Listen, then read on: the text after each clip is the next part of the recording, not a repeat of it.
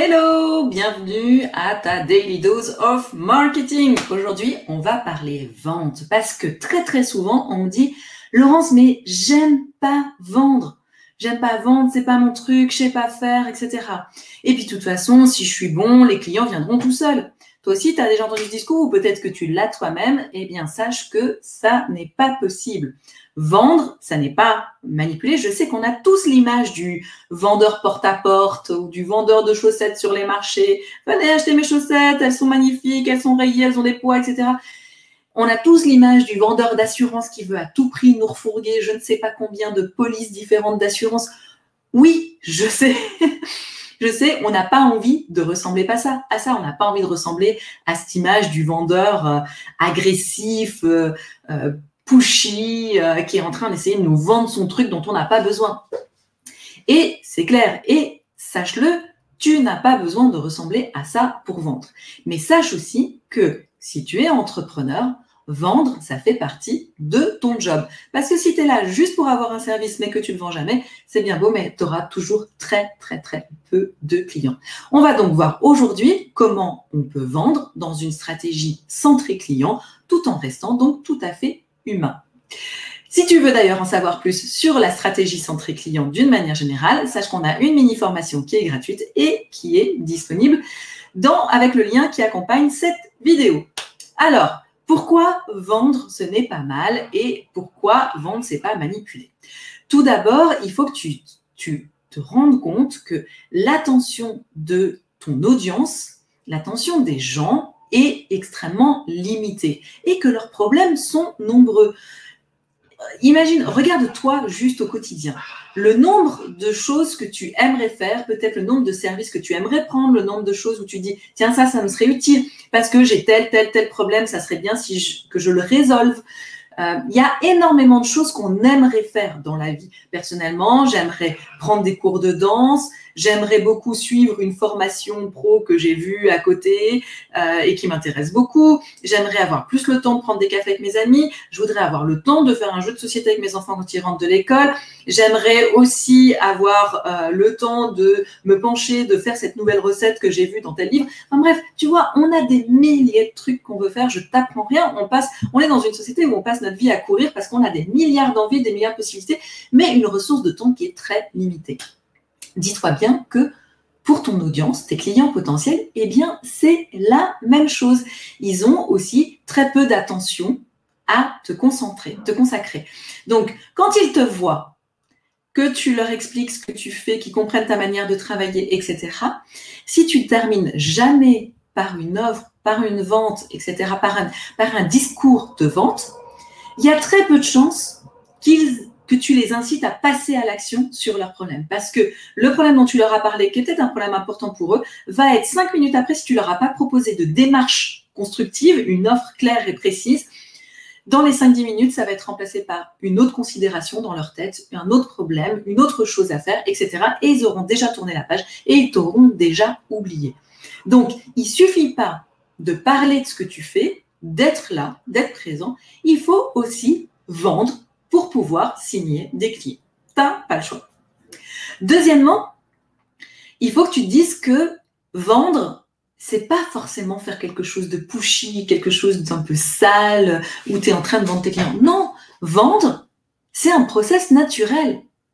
Rappelle-toi que quand tu as conçu ton service, tu l'as conçu pour venir en aide à des personnes qui ont un problème en particulier. Donc si ces gens sont là à te parler, c'est qu'ils ont besoin de ce que tu peux leur offrir. Que tu vas les aider à passer une étape dans leur vie, dans leur carrière, peu importe, suivant les problèmes que tu les aides à résoudre, que tu vas leur permettre de progresser d'une manière générale. Donc, rappelle-toi, et c'est forcément, je suis sûre que c'est ton pourquoi, rappelle-toi que tu rends service aux gens en leur proposant tes services. Donc, vendre, c'est pas sale. Vendre, c'est tout simplement naturel. J'ai discuté avec une cliente juste avant de faire ce live et cette cliente, elle va bientôt participer à une conférence où elle doit parler. Et on parlait de la structure de sa conférence, comment elle va structurer sa conférence pour qu'elle soit le plus optimum possible et pour qu'elle puisse vendre à la fin. Parce que si tu fais une conférence, tu vas parler pendant une heure d'un sujet. Mais que tu proposes pas une démarche active à la fin aux personnes qui assistent à cette conférence pour passer à l'action, pour venir te voir, pour enfin résoudre leurs problèmes une bonne fois pour toutes. Parce qu'on est bien d'accord, c'est pas en une heure de conférence en règle générale qu'on règle ces problèmes, peu importe le type de problème. Surtout si c'est des problèmes assez profonds. Donc, tu dois avoir une offre à la fin qui va leur permettre de passer à l'action, d'enfin prendre leurs problèmes à bras le corps et de pouvoir aller de l'avant avec ce désir qu'ils ont de régler cette situation. Et donc, on discutait de la façon dont elle peut amener son offre à la fin de sa conférence, qui est une très très bonne technique, je te la conseille. Euh, c'est plus, plus, plus spécifique que ça. Peut-être qu'on fera un live un jour là-dessus sur ce sujet, mais en tout cas, c'est une méthode très très intéressante. Et je lui disais, si tu as des, des difficultés avec cette partie de vente à la fin, n'hésite pas à me l'envoyer, à te filmer par exemple, et à me l'envoyer pour qu'on la débriefe ensemble, etc.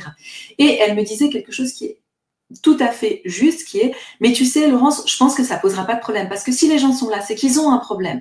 Donc, si je me rappelle, moi, tous les clients que j'ai aidés, la situation dans laquelle j'ai été, comment j'ai dépassé ces problèmes, c'est évident que mon offre, elle va être juste et je vais la dire de manière très naturelle et très juste parce que je me souviens, moi, quand j'ai été à leur place dans cette chaise et j'avais qu'une envie, c'était qu'on me dise comment je peux faire pour régler mon problème une bonne fois pour toutes.